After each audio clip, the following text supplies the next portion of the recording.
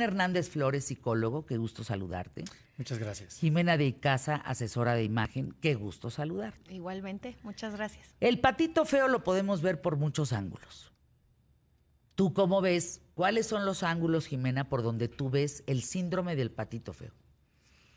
Híjole, pues mira, yo antes que nada lo que le digo a la gente es, te tienes que aceptar como eres. O sea, puedes cambiar lo que hay que cambiar, pero hay cosas que no puedes cambiar. Y esa es tu realidad y tienes que aceptar la realidad. Tienes que ubicar, conocerte, saber quién eres, ubicar cuáles son tus puntos positivos, negativos y trabajar en ellos. O sea, si yo tengo el pelo maltratado, pues me lo puedo cortar y lo puedo, lo puedo cambiar, me lo puedo pintar. Si yo tengo los dientes chuecos, pues voy al dentista. Pero si soy chaparrita, ¿cómo cambias eso? Ah, no, no, pregúntame a mí y me volteé a ver. Pues si no. Es, o bueno, no, a No, ti, no, no, sí, en general, yo mido unos ¿no? 53. O si espérame, soy- no, no, no. Espérame, espérame, es un tema. Yo mido unos 53, mis papás miden más de un metro ochenta, un metro ochenta y siete. Y de chiquita me buleaban. ¿Y qué como haces me, en eso? Como mi apellido familiar, entonces yo jugaba con eso. supiste Yo- ubicar como tu fortaleza. a mí no me Que eso es lo que hay que hacer, ¿no? O sea, ubicar cuáles son tus fortalezas y tus debilidades, trabajarlas. Hay que no es que no puedes debilidad. cambiar. No lo puedes cambiar. Entonces, lo que sí puedes hacer es cambiar la percepción de los demás hacia ti. Lo importante es ver, o sea, saber, aceptarte la realidad y saber quién eres y de ahí trabajar lo que yo quiero proyectar hacia los demás. O sea, no es patito feo, porque aquí no hay patitos feos. Es simplemente saber cómo soy y proyectar mis fortalezas para manipular ese mensaje hacia los demás. Dirías entonces, Jimena, para irme con Román, dirías que el patito feo se queda como patito feo eh, sintiéndose víctima de la circunstancia que en realidad no puede avanzar o, o cómo. Por supuesto que no. El patito feo tiene que ubicar cuáles son sus fortalezas. Y de esas fortalezas, saberlas explotar. Como tú dices, bueno, pues mi, mi- mi apellido era familiar y lo exploté, ¿no? Y supe cómo manejarlo para manipular ese mensaje con la gente y proteger mi autoestima. ¿Cierto o no? Ya te entendí. Y yo creo que eso es lo importante. O sea, cuando hablamos de imagen personal, que eso es a lo que me dedico, no es lo que la gente percibe de mí, sino es más bien qué pienso yo de mí mismo para trabajar en eso y proyectárselo a la gente. Y que la gente perciba lo que yo quiero que, que- que perciba de mí. Román, ¿qué ves hablando del síndrome del patito feo? ¿Qué ves en consulta? Fíjate, para empezar, cuando hablamos del patito feo, hablamos de alguien que es relegado de un grupo. Como la película, Exacto. como el cuento más Exacto, bien. relegado de un grupo película familiar, un grupo demás. social. Tiene que ver bien con el rechazo que el núcleo o, o este ambiente hace para con la persona, pero también el autorrechazo que el que se considera patito feo genera sobre sí mismo. Es decir, en muchas ocasiones existe una distorsión, ¿no? hablando un poquito de lo que decía Jimena, una distorsión sobre sí mismo. Pero ¿qué pasa también? Y es lo que ve en consulta, la gente que por un antecedente de, de rechazo ahora se autorrechaza. Eh, yo hablo mucho también de- del término de la oveja negra. Aquel que es diferente, aquel que se arregla diferente, aquel que tiene eh, particularidades eh, mentales, emocionales, cognitivas diferentes a los demás, es al que relegan. Y usualmente es el patito feo. Entonces, esa persona que no tiene ese, esa fortaleza, esa seguridad o esa voluntad de salir de ahí, lo que va en consulta es gente que vive con una baja autoestima, gente que tiene una autopercepción negativa, limitada, y que incluso yo escucho en consulta que la gente dice, es que eso no se hizo para mí. O sea, ¿cómo es posible que si mi familia nadie estudió, ¿por qué yo sí estoy estudiando? No solamente vemos al patito feo en cuestión física, sino también mental. De pronto es aquella persona que se percibe como diferente a los demás y por tal motivo actúa, eh, pues, basada como en el miedo. Fíjense, hablaba yo de esta Asociación Mundial de Gente Fea. Y decíamos, ¿a poco de veras Fer existe? Sí. Eh, estamos hablando que pertenecen 30 mil miembros en 25 puntos del planeta. Es que eso es increíble. O sea, sí. ¿Qué piensas de No. eso, Jimena? No, o sea, es- yo pertenezco a la Asociación Mundial de Feos.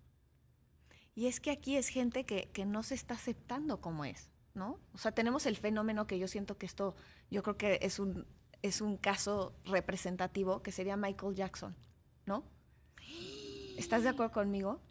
todo lo que hizo para cambiar su rostro. No se aceptó nunca, ¿no? Nunca aceptó su realidad. Es decir, bueno, o sea, tengo muchas cosas buenas que las tiene, ¿no? O sea, ve lo que fue. Pero esta parte visual, y esto es lo que quería como, como, llegar, como la parte externa y la parte interna están muy vinculados uno con otro. O sea, tu autoestima depende mucho de tu imagen personal. Si no te sientes bien, me voy a meter a la asociación de gente fea y ya me voy a renegar a mí mismo. Y que de alguna forma pareciera que es como una manera en la que me puedo calmar. Encuentro como un consuelo. No soy el único que me siento feo. ¿no? Hay gente peor que yo, ¿no? que es lo que pasa un, un poco en los grupos de autoayuda. Siento un poco de consuelo porque hay gente que está padeciendo lo mismo que yo. Totalmente, ¿Como totalmente negativo. Sí, claro. Wow. Pero sí creo que tiene mucho que ver con un tema de autopercepción, porque no hay un parámetro, considero, de fealdad o guapura, ¿no? Lo que para algunos puede ser, Es que, ¿qué Feo, crees? Si hay, si hay parámetros, Román. ok, para la asociación. Es que, ¿sabes qué? Ya hay parámetro con, lo, con el que se mide la belleza y se mide la fealdad. Pero es que eso es muy subjetivo. Porque, o sea, tú piensas, por ejemplo, Jenny Rivera, ¿no? ¿Te acuerdas? O sea, cómo era llenita y ella misma, o sea, proyectaba una seguridad y una sensualidad que a muchos hombres les fascinaba. Y, y fue un ícono para muchas mujeres, ¿no? Entonces nos podríamos ir al fondo del tema, el asunto que están repitiendo, que es autoestima. Claro. ¿Cómo logras la autoestima en la infancia? Con padres que refuercen los aspectos de sus hijos y que eso no es una limitación. O sea, esto no lo tienes, pero esto sí tienes. Sí, claro, como decían hace rato, ver qué sí tienes, potenciarlo y lo que no, no es motivo para que te agaches. Aquel niño gordito, por ejemplo, que es un tema muy común, el niño gordito, el niño de los lentes, el niño que, que tiene un apellido diferente, no sé, el papá si no le da esa seguridad, si el papá no le, le- le hace saber que eso no es una limitante, que eso no tiene que ser motivo de burla, que eso no tiene que ser motivo de que lo hagan a un lado, el niño va creciendo con esa seguridad firme. Pero ¿qué pasa con el mismo papá también? Sobre sí mismo, ellos se hablan mal. O sea, yo pero siempre no he dicho... vivimos más en la inclusión supuestamente y los chavos, los niños hoy en día supuestamente son más incluyentes por la cultura de inclusión que yo digo que es puro cuento, pero desgraciadamente, ¿eh? Sí. Desgraciadamente. Fíjate que tengo la oportunidad de trabajar en algunas escuelas y aunque se habla de inclusión, sigue habiendo mucha exclusión. Aunque se hablan de valores, sigue habiendo muchos comportamientos que dañan la integridad, que dañan el autoestima y que dañan profundamente a una persona de por vida. Incluso hay personas que dicen, pues yo siempre he sido gordita, ya se resignan. No, pues yo siempre he sido chaparrito. ¿No? O incluso personas que dicen, yo soy la negra. ¿no? Y ya se autonombran de esa forma, pero ni Ya siquiera para empoderarse. ¿No? Ya es una etiqueta ahí que hasta las mismas escuelas se las ponen. Totalmente. Déjenme ir anuncios QTF. Los dejo con esta pequeñísima reflexión. La productora de este programa, Avid Gutiérrez, cuando se trata de bullying, ella dice, se nota que esos no tuvieron primos. Si hubieran tenido primos, habrían resistido el buleo de quien sea. Piénsenlo. Román Hernández Flores, psicólogo, en arroba psicólogo Román Hernández. Jimena de Icaza, asesora de imagen en Instagram. Jimena de Icaza, hablando del síndrome del patito feo. Les comentaba mientras eh, escuchábamos a nuestros patrocinadores que existe en México, ya le llaman así, el gurú de talentos y fortalezas. Se llama Javier Barrera. Síganlo en Instagram, es arroba talentos y fortalezas. ¿Qué- ¿Por qué saco a colación el tema de el gurú de talentos y fortalezas? Hablando del síndrome del patito feo, porque Javier empezó hace nueve mil personas, por ponerlo en cantidad de gente, a cambiarles el chip para que entiendan que uno no puede vivir la vida a través de sus debilidades, Sí, no. Totalmente. sino que tiene que identificar sus fortalezas, sus talentos, para entonces hacerle frente a la vida. Y ha cambiado la perspectiva de nueve mil personas, por eso le llaman el gurú de talentos y fortalezas. Síganlo. Aquí está. Ahorita tiene 1832 seguidores. Sí, pero quien lo sigue juntan más de 80 millones de personas de quienes lo siguen, porque ha cambiado este síndrome del patito feo. ¿Qué pasa, Jimena, Román, cuando vivimos justamente en una cultura del vapuleado, del aplastado, del pobrecito, de tú eres débil, tú no puedes salir adelante, etcétera, etcétera, etcétera? Fíjate que también tiene que ver mucho con un tema cultural. Lo negativo se potencia. O sea, cuando alguien hace algo mal, se potencia, se hace grande. Potencia. Alguien hace algo bueno, Sí. muy bien, nada más. Entonces, pasa lo mismo con el aspecto físico.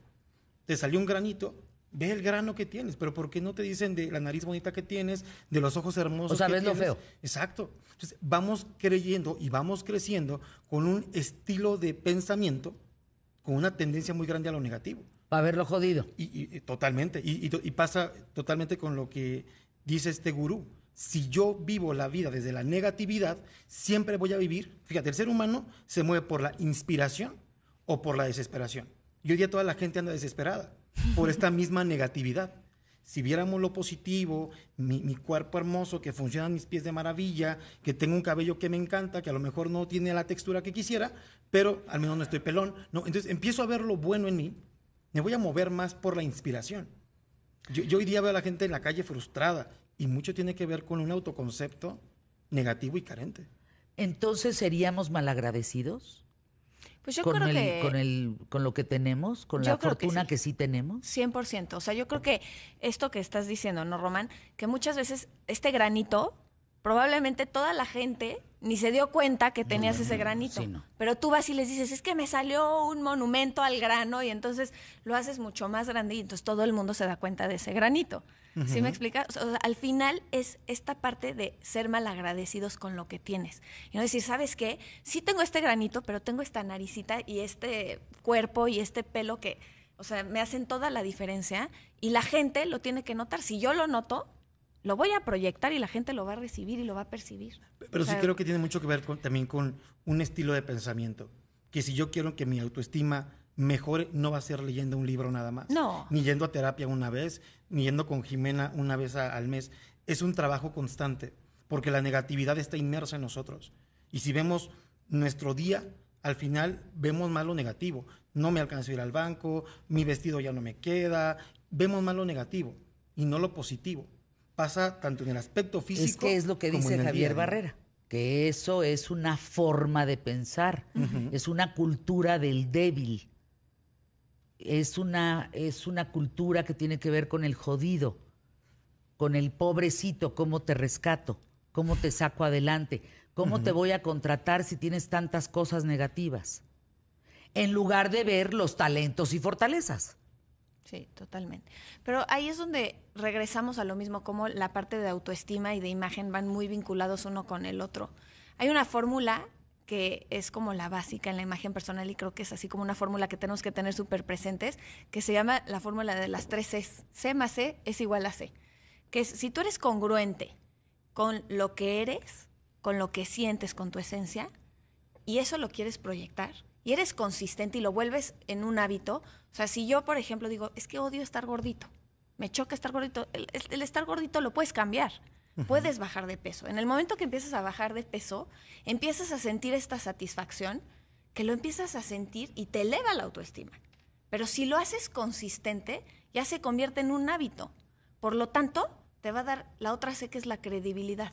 Y cuando tú proyectas esa credibilidad, es cuando tú vas a proyectar mucho más confianza y tu autoestima va a incrementar. ¿Están de acuerdo conmigo? Totalmente. Fíjate que algunas, Pues, algunas personas sí. incluso dirán en el consultorio cuando le hablamos de hábitos, cambio de hábitos, "Ay, pero es que eso de los 21 días, eh, los hábitos van más allá de un comportamiento. Totalmente. Hay una modificación neurológica. Si tú haces lo mismo 21 días, se vuelve un hábito. Sí, un hábito conductual, 63 días ya es un cambio neurológico. Ya Ah, y eso, automático. fíjense qué importante. Si tú, que- si tú empiezas a pensar diferente en eso, en tus fortalezas y talentos, Totalmente. Durante 21 días cambias el hábito. En 60 días 63. cambias. Neurológicamente, ya se vuelve. Ya se te cambia el chip. Es un nuevo, una nueva eh, eh, trabajo neurológico. sino una nueva eh, forma de trabajo neurológico. Eh, las neuronas se trabajan por Tienes asociación. toda la razón. Y ya después de cierto tiempo de repetición y repetición, Tu cuerpo se una nueva acostumbra. carretera neural, una nueva conexión neural. Y es maravilloso porque yo siempre he dicho, hay que hacer que el cerebro trabaje para uno. Pero si uno lo deja como, no, pues yo así nací.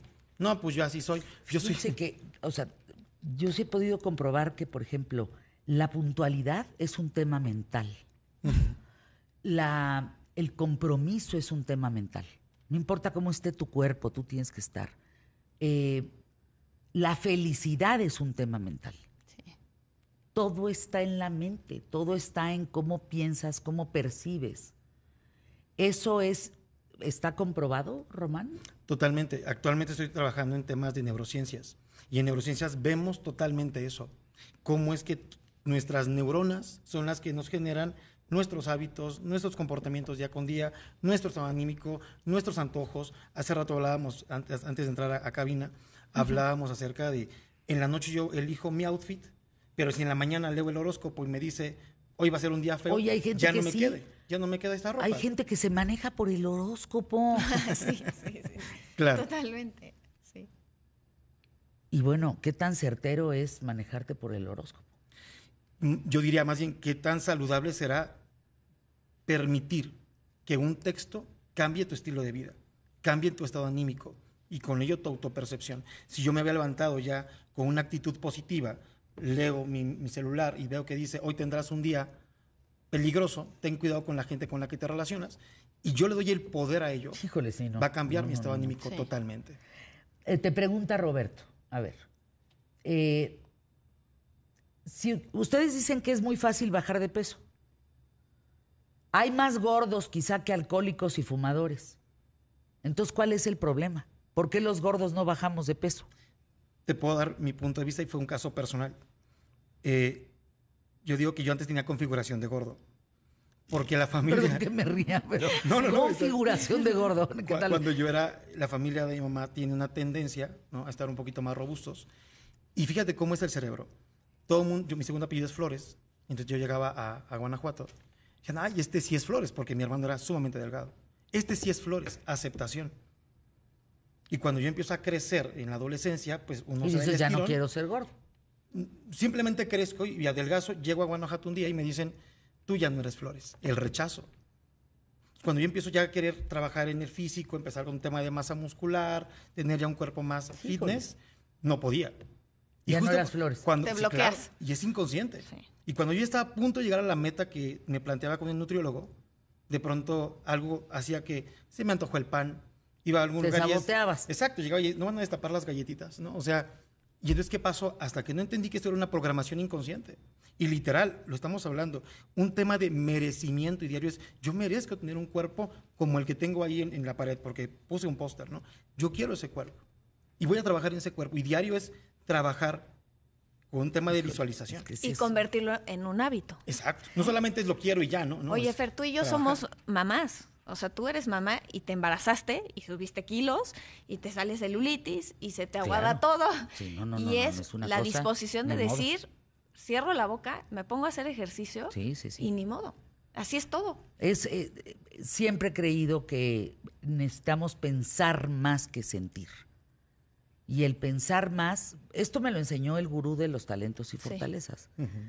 O sea, el tú pensar más, tienes más eh, eh, posibilidades frente a ti de no regarla. De, o sea, me tengo que levantar a tal hora. Ni modo. Quiera el cuerpo o no quiera, ni mo- no hay de otra, es lo que No me toca. Pues te levantas. No hay- Mucha no- disciplina.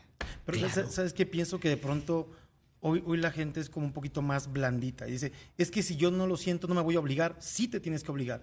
Hay algo que en psicología le llamamos intención paradójica. Aunque tus emociones digan que no, si tú sabes que eso te va a hacer un bien, te tienes que obligar. Pero mucha gente, ¿cómo me tengo que obligar? Te tienes que. Pues, ¿cómo piensas? Bueno, sigan por favor a Javier Barrera, llamado el gurú de talentos y fortalezas en Instagram. Eh, lleva 1966 seguidores. No, lo siguen millones. Gracias, Jimena de Casa. Gracias, Román Hernández.